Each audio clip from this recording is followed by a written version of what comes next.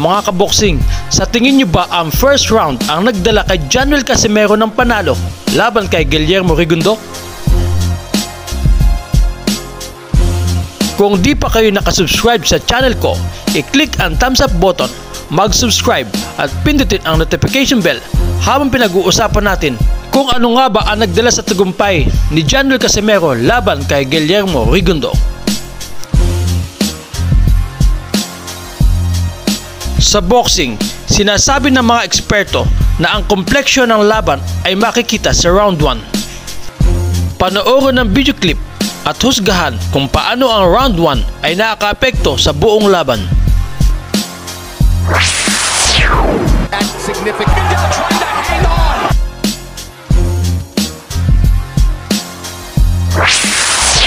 Silipin natin ang highlights ng buong laban.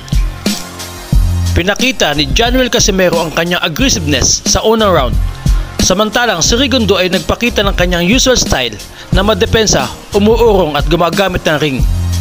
Sa aking palagay, naramdaman ni Rigondo ang bigat ng kamao ni Januel Casimero na tumama at napopo sa luna sa unang round.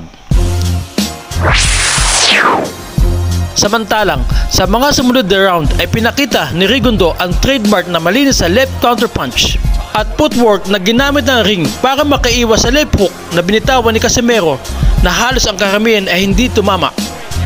Sa middle round ay na-frustrate si Casimero dahil sa pag-iwas at pagtakbo ni Rigondo. Kung mapapansin ang scorecard ng mga hurado ay sumang-ayon sa nangyari mula round 2 hanggang round 7.